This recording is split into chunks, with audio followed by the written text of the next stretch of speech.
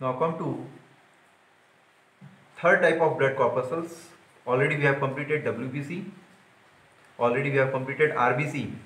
Now come to third one of formed elements. Name of that third formed element is called platelets or you may call thrombocytes. Already we have completed RBC, we have completed WBC. Now come to third type of formed element and name of that third type of formed element is called platelets or thrombocytes. What are the characteristic features of platelets? The first characteristic feature of platelet is they are smallest element. They are the smallest element of blood corpuscles. They are formed by large blood cells. They are always formed by large blood cells. They are formed by large blood cells called as they are formed by large blood cells known as megakaryocytes called as megakaryocytes they are formed by large blood cells called as megakaryocytes of bone marrow.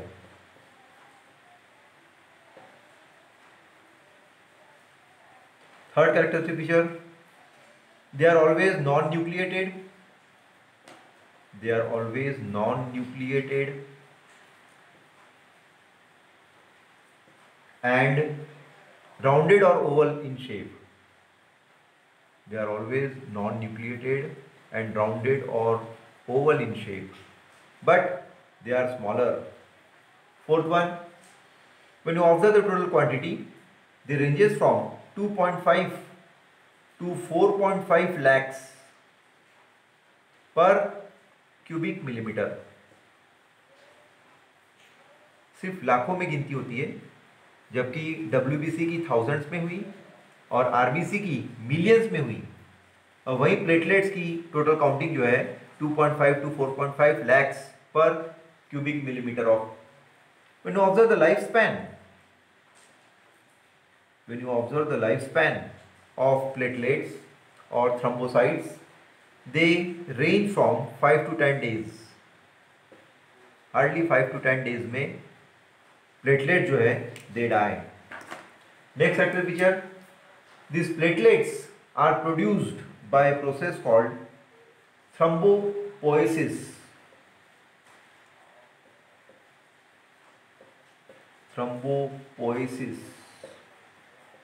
Thrombopoiesis. Is the biological term in which there is production of platelets. एक ऐसी process जिसमें किसका production हो रहा है platelets का production हो रहा है production of platelets or production of thrombocyte is described as thrombopoiesis. Again, when you observe the production of thrombocytes, there are two major types of production. In some organism, in some human being, the production may increase or in some individual, the production may get decreased. Depends on infection. If the total number of thrombocyte increases or the if there is increase in number of platelets then the term is described as thrombocytosis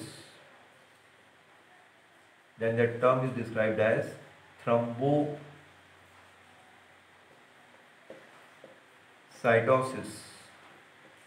if there is increase in number of platelets then the term is called as thrombocytosis.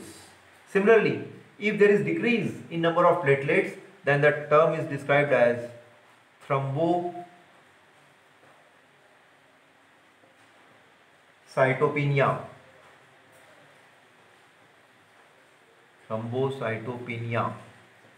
Then the term is described as thrombocytopenia there is decrease in platelets then the term is called thrombocytopenia if there is increase in number of platelets then the term is called as thrombocytosis these two biological words are very important now if there is decrease in number of platelets then there is chances of internal bleeding उस समय किसकी chances रह सकती है internal bleeding की chances रह सकती है इंडिविजुअल में और इंटरनल ब्लीडिंग अगर हो रहा है at the time you want to use a biological term called haemorrhage ऐसे समय पर अपन एक बायोलॉजिकल वर्ड यूज़ करेंगे called as haemorrhage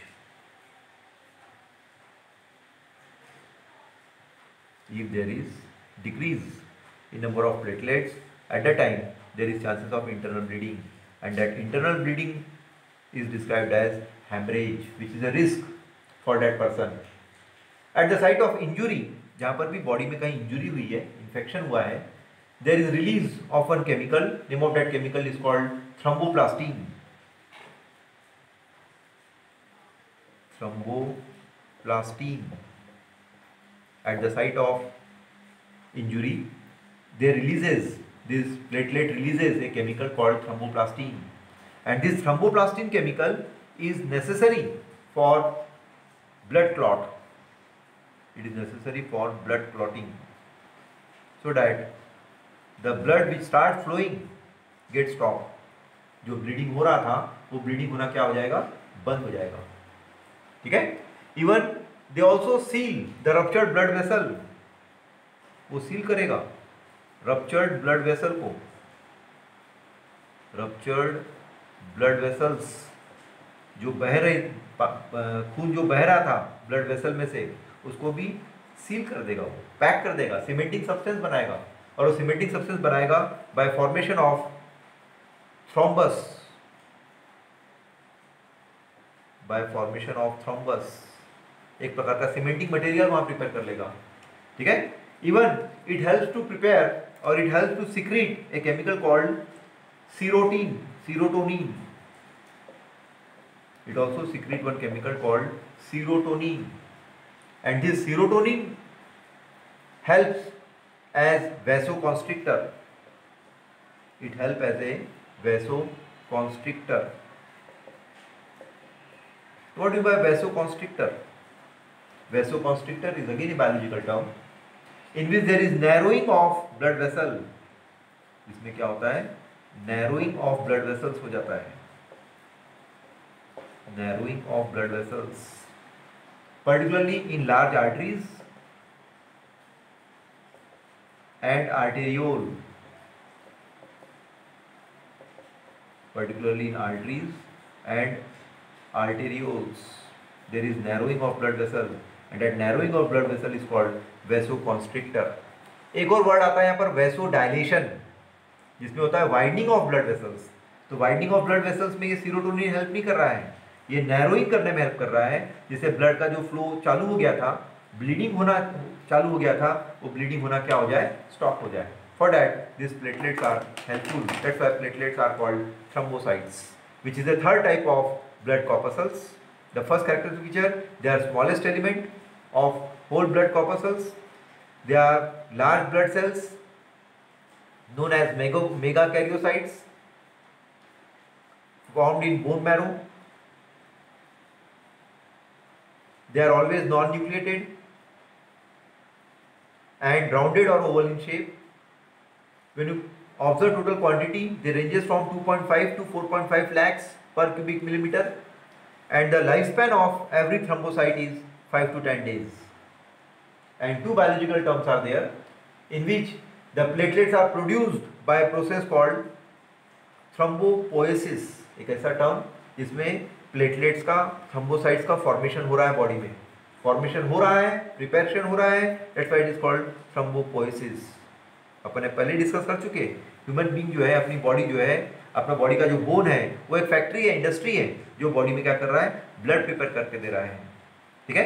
लेकिन प्रोडक्शन जो है कभी इंक्रीज फॉर्म में रहता है, कभी किसी इंडिविजुअल में डिक्रीज फॉर्म में रहता है। Depends on infection depends on injury ठीक है? If there is increase in total number of platelets then the term is called thrombocytosis and if there is decrease in number of platelets और thrombocytes, then the term is called thrombocytopenia. और thrombocytopenia अगर कोई infection है तो there is chances of it causes internal bleeding और internal bleeding हो रही है इसका मतलब वहाँ पर हेमरेज हो गया है। तो जहाँ पर भी at the type at the site of infection जहाँ हुआ है इंजुरी जहाँ हुई है दे रिलीज़ ए केमिकल उस इंजुरी की जगह पर एक केमिकल रिलीज़ होता है और उस केमिकल का नाम है थ्रम्बोप्लास्टीन और वो थ्रम्बोप्लास्टीन इज़ नेसेसरी वहाँ पर बनना ज़रूरी है। सीमेंटिंग का काम कर रहा है, जो क्या करेगा ब्लड को वहाँ पर क्लॉट कर देगा ब्लड को सुखा देगा। अदरवाइज़ ब्लड फ्लूड फॉर्म में बॉडी से बहेगा तो there is chances of death इसलिए ब्लड का बहना रुके, उसके लिए थ्रम्बोप्लास्टिन केमिकल जो है वहाँ पर हेल्प करता है। इवन सील भी कर देगा वो। रप्चर्ड ब्लड वेसल को क्या करेगा? सील भी कर देगा। By developing a platelet plugs और उस प्लेटलेट प्लग को क्या बोला जाता है? Thrombus that platelet plugs are called thrombus and they secrete a serotonin chemical.